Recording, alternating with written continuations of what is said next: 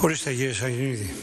Κύριε Πρόεδρε, κυρίες και κύριοι βουλευτέ, κύριοι υφυπουργοί, και δεν θα μπορέσω να αντισταθώ στον πειρασμό, όπως ο κύριος Πελεγρίνης στην ομιλία του απεκάλεσε κύριο συνάδελφο του κύριο Φορτσάκη, δικαιούμαι και εγώ να αποκαλέσω κύριε συνάδελφε τον Υπουργό, διότι τυχάνω και εγώ να μην έχω κάποιο πτυχίο.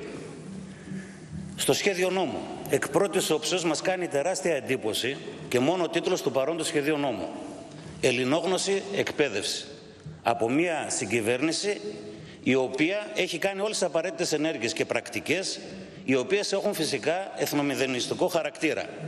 Από μια κυβέρνηση η οποία έκανε ό,τι μπορούσε ακριβώς τίποτα σε ελληνικό σε καμία μορφής εκπαίδευση από τον υπηαγωγείο μέχρι τα ανώτατα εκπαιδευτικά ιδρύματα. Από μια συγκυβέρνηση που διαλύει καθημερινά την παιδεία όπως διαλύει το εθνικό και κοινωνικό ιστό της πατρίδας μας. Το ζήτημα λοιπόν της εκπαίδευσης των Ελληνόπουλων, της Διασποράς, είναι όντως κομβικό. Αυτό λέει άλλωστε και η αιτιολογική έκθεση. Η Ελλάδα είναι η μεγάλη απούσα στην κάτω Ιταλία, στη Βόρειο Ήπειρο, για εμάς Βόρειος Ήπειρος, για κάποιους άλλους Νότια Αλβανία και την Ανατολική Ρωμιλία. Καλό θα ήταν κάποια στιγμή να το δούμε αυτό. Μετά το 60 έγιναν κάποιες προσπάθειες, αλλά μόνο σε επίπεδο πρωτοβάθμιας εκπαίδευσης. Και αυτό μόνο σε χώρες που πήγαν Έλληνες μετανάστες, δηλαδή κυρίως στη Γερμανία, την Αυστραλία. Αλλά αυτές δεν ήταν αρκετές.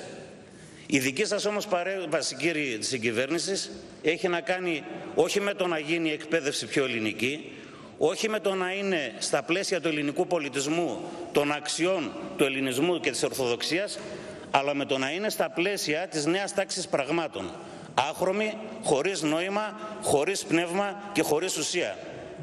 Αναφερθήκατε κύριε Υφυπουργέ ότι επισκεφθήκατε σχολεία στο εξωτερικό ελληνικά. Θα σας μιλήσω και δίας πείρας. Έχω φοιτήσει, έχω μεγαλώσει στη Γερμανία. Όλα τα ελληνικά σχολεία πληρωνόντουσαν καθαρά από το ελληνικό κράτος.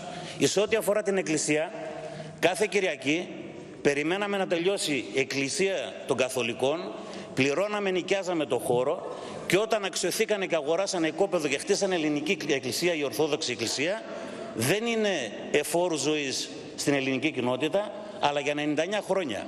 Εν αντιθέσει που εδώ στην Ελλάδα νομοθετείται για να πληρώνει το ελληνικό κράτος για την εκπαίδευση αλόθρησκων και ξένων. Έχει τεράστια διαφορά. Επιτέλους εναρμοστείτε όπως είναι και στην Ευρωπαϊκή Ένωση. Δεν μπορεί στην Ευρωπαϊκή Ένωση όπου υπάρχει ελληνισμός να πληρώνουμε για την εκπαίδευση των Ελληνόπουλων. Όπου υπάρχει ελληνισμός να πληρώνουμε για να μπορούμε να ασκήσουμε τα θρησκευτικά μας καθήκοντα και στην Ελλάδα όλα αυτά να παρέχονται δωρεάν. Είναι απαράδεκτο. Και φυσικά όλα αυτά τα καθορίζει ο Υπουργός. Ο Υπουργός, ο οποίος αναδεικνύεται σε ρυθμιστή θεμάτων για τα οποία θα έπρεπε να γνωμοδοτούν και να αποφασίζουν επιστήμονες με ιδιαίτερη γνώση στο συγκεκριμένο αντικείμενο. Αντί αυτόν όμως, ο Υπουργός καθορίζει από, τις, από το ποιες σχολικές μονάδες θα λειτουργήσουν στο εξωτερικό μέχρι και τον τρόπο με τον οποίο θα ορίζονται οι συντονιστές. Με την αρχή ανάγνωσης φαίνεται ο πραγματικός σκοπός της κυβέρνησης για την εξαφάνιση της ελληνικής παιδείας και την επιτυχία του εθνομηδενισμού.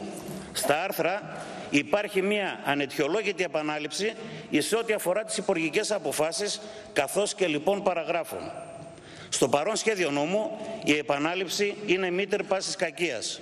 Το σχέδιο νόμου βρήθη λαθών εσκεμμένων για τη δημιουργία ενδοτικών ε, στρατιών εκπαιδευτικών.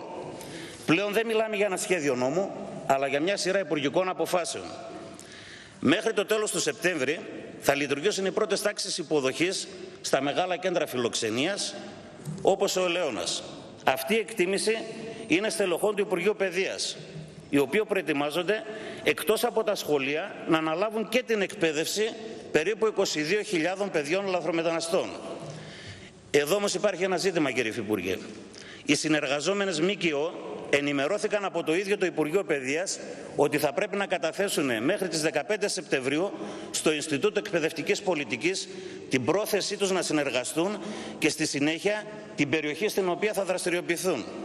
Το Υπουργείο δηλώνει έτοιμο να προχωρήσει από εβδομάδα σε πρόσκληση των εκπαιδευτικών για το τετράωρο πρόγραμμα που έχει ετοιμάσει και το οποίο αφορά μαθηματικά, ελληνική γλώσσα, μητρική γλώσσα και κάποια άλλη ξένη γλώσσα επιλογής. Αν υποθέσουμε ότι δεν θα έχει καμία επιβάρηση ο κρατικός προπολογισμός, θα μπορούσε να θεωρηθεί ένα προσωρινό μέτρο λύσης, γιατί υποτίθεται ότι προσωρινά συγγνώμη, θα μέναν στην Ελλάδα. Προκύπτουν όμως και άλλα ζητήματα. Αυτός ο οποίος θα διδάσκει στη μητρική τους γλώσσα θα εκτελεί και χρέη μεταφραστεί στα άλλα μαθήματα, δεν θα πρέπει να ξέρει και ξένη γλώσσα. Και σημαντικότερο απ' όλα, οι λαθρομετανάστες προέρχονται σύμφωνα με τη στοιχεία της Στατιστικής Υπηρεσίας και από την καταγραφή τους που έχει γίνει από 77 διαφορετικές χώρες.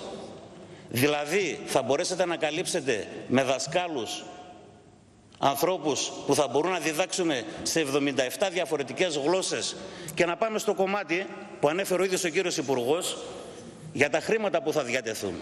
Για την εκπαίδευση αυτών μιλάμε για 7 εκατομμύρια ευρώ. Αυτά τα χρήματα όπως καταλαβαίνετε είναι λίγα και πιστεύω ότι θα μας φέρετε πάρα πολλές τροπολογίες να ζητήσετε και άλλα χρήματα για την εκπαίδευση των λαθρομεταναστών. Γιατί επειδή τη χάνει ελεύθερος επαγγελματίας, έχω μάθει ένα πράγμα να κάνω σωστά στη ζωή μου, να κάνω επανειλημμένα επαλήθευση τους λογαριασμούς. Και κύριε Υφυπουργέ, δεν μου βγαίνει το νούμερο. 7 εκατομμύρια δια 850 εγκαταστάσεις στις οποίες θα γίνονται τα μαθήματα προκύπτει ένα ποσό των 8.235 ευρώ το οποίο αν το διαιρέσουμε δια 12 τους μήνες δηλαδή προκύπτει ένα ποσό των 826 ευρώ αυτά τα χρήματα τα 826 ευρώ, με αυτά δηλαδή θα πρέπει να αμείβονται αυτοί που θα εκπαιδεύουν σε κάθε ε, hot spot όπου θα γίνονται τα μαθήματα. Δεν βγαίνουν τα νούμερα κύριε Υφυπουργέ. Δεν βγαίνουν με τίποτα αυτά τα νούμερα.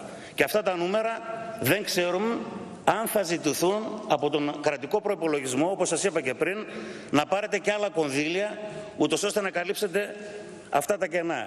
Εμείς είμαστε κάθετοι και απόλυτοι πάνω σε αυτό καμία δωρεάν εκπαίδευση σε κανένα λαθρομετανάστη, άμεση απέλασή τους στις χώρες από τις οποίες προέρχονται και δεν θα πρέπει το ελληνικό κράτος να παρέχει απολύτως τίποτα πλην αυτών που επιβάλλονται από πλευράς ανθρωπισμού να παρέχει κάποιες πρώτες βοήθειες και τίποτα παραπάνω.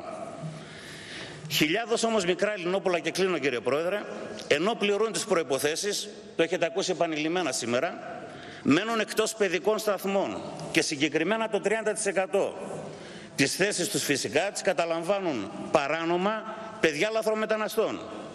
Πρώτον, επειδή οι γονείς αυτών των παιδιών, οι οποίοι στην πλειοψηφία τους όπως ανέφερα και πριν, διαμένουν παράνομα είτε σε ένα νομότυπο καθεστώς με μια προσωρινή άδεια, δεν δηλώνουν τα πραγματικά τους εισοδήματα. Γιατί φυσικά προέρχονται από μαύρη εργασία.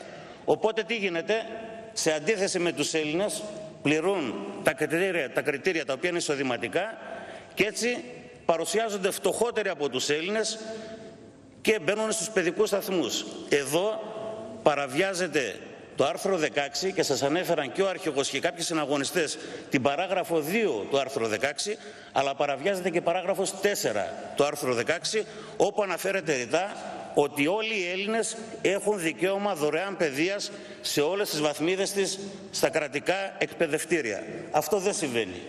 Οπότε παραβιάζεται κατάφορα το Σύνταγμα. Έχουμε να κάνουμε μια πρόταση.